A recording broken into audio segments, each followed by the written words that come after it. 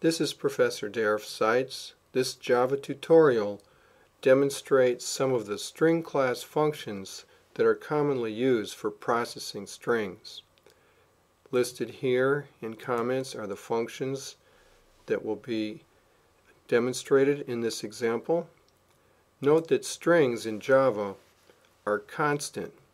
Once you assign them a value, that value cannot be changed.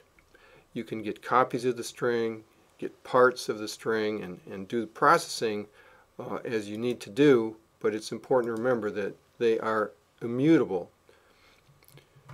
Here's our main method, and first we declare our strings that we're going to be using in this example and initialize them.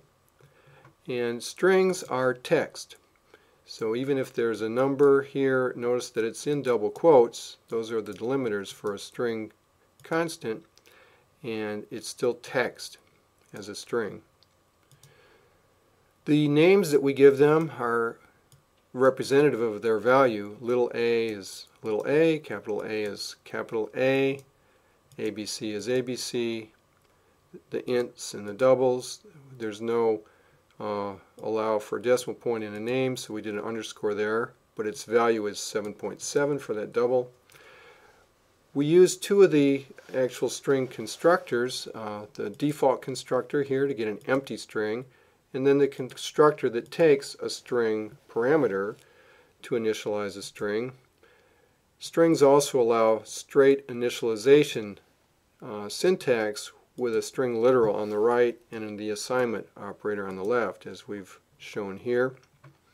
Our two longer strings, string 1 and string 2, say on the left side of the dusty road a field of tall sunflowers stood at attention and the second one the sea billowed mightily as the sailboat surged through the straits of Cape Horn. Note we also have a string called extra spaces that has four spaces on the left and on the right side of it.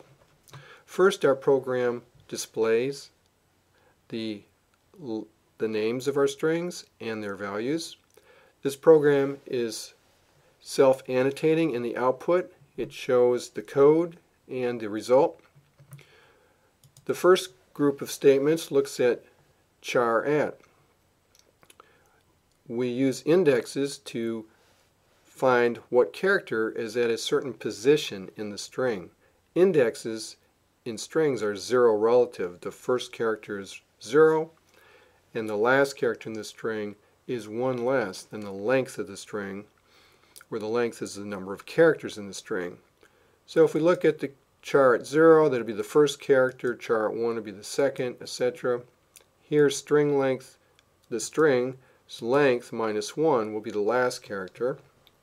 We'll look at this output when we run the program in detail. Compare to allows a string to compare to another string and we're talking about alphabetical comparison which is called lexical comparison. Strings are stored using Unicode and the values that will be returned here will either be a less than 0 for something being alphabetically less than something else equal to 0 for equality and greater than 0 for greater than. We can also compare to ignoring the case because upper and lower case letters are not in the same position in the alphabet and they do have a lexical order. Actually the uppercase letters precede the lowercase letters. There's also the common equals function that's used for objects, and since string, strings are objects, that's commonly used to compare them.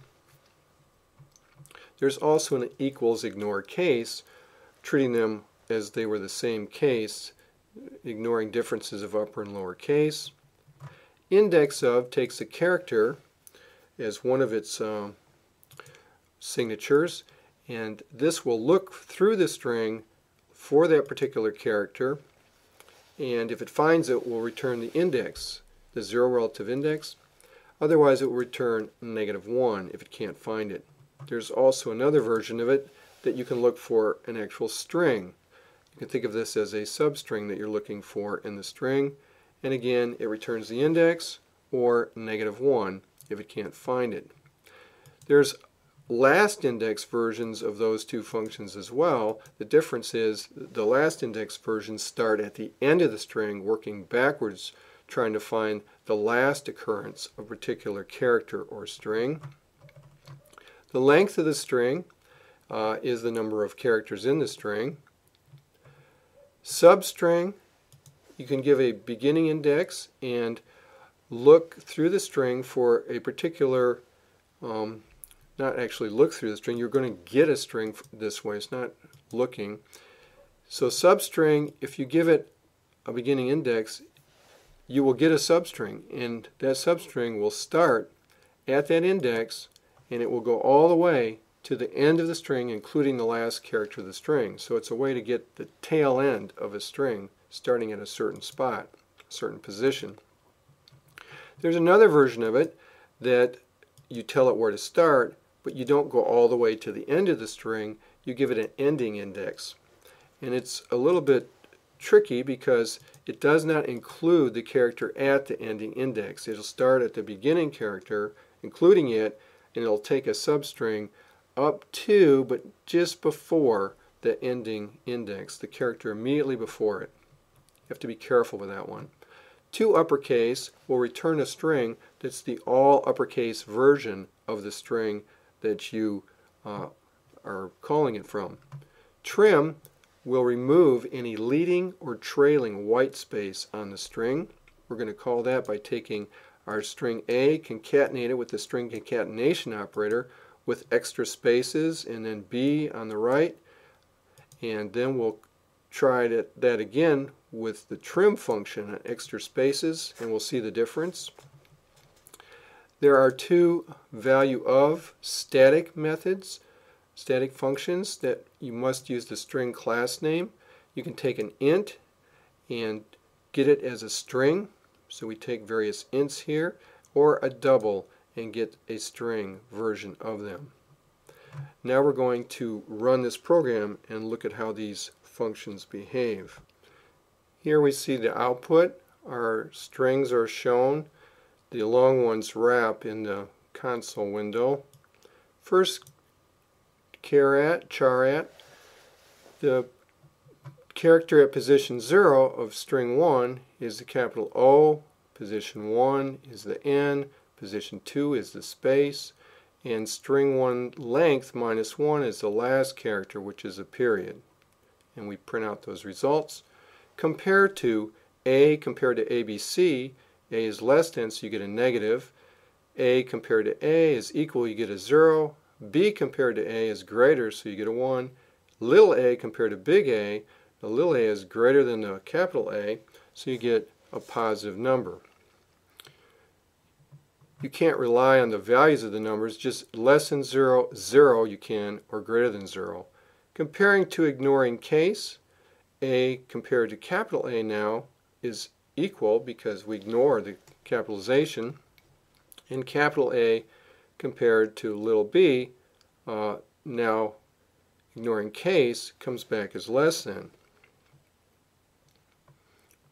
because A would come before B if you just ignore their case.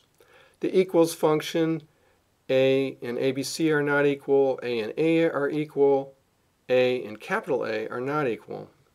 When you ignore case, a and capital A now are equal, and the other ones are the, the similar result.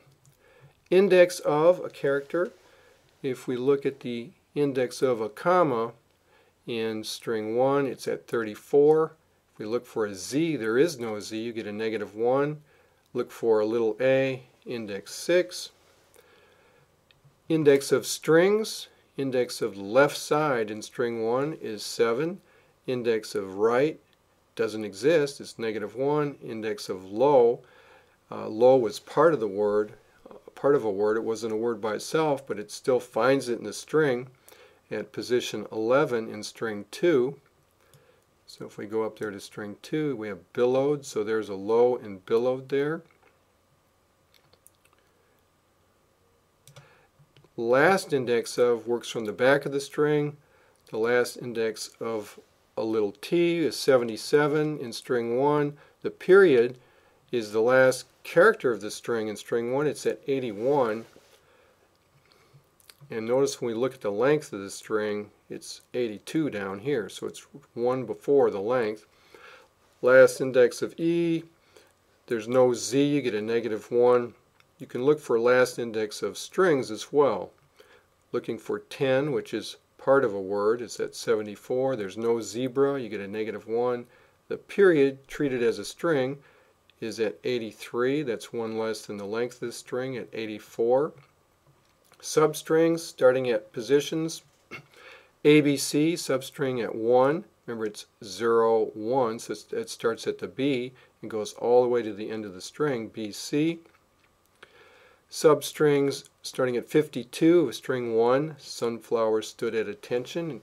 That goes all the way to the end of the string because it just has the beginning index. Notice the period there included.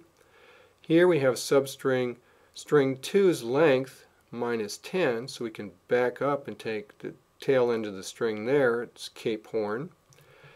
This substring uses a begin index and an end index, but you have to be careful. So substrings here, we pull out Dusty Road and Billowed. To uppercase uh, converts to all uppercase. Trim, we put A and extra space and B together and we see the spaces there, but when we trim extra space and put them together, those spaces are gone. Finally, we take value of some ints, 1, 2, 3, 4 becomes that, 0, the negative, and some doubles. So that's good to be able to use that to convert from certain um, intrinsic types to a, a string. Let's go back to the code now. In this tutorial we've reviewed some of the string functions that are commonly used here, string, constructors, character at, compare tos, some equals, index ofs, last index ofs, length, substrings, to upper and trim and value ofs. And we're going to again go to the output now. Here we see the first part of the output all the way down through the equals ignore case. Then we'll scroll down looking down to all the way down to the to uppercase and then finally the rest of the output is shown.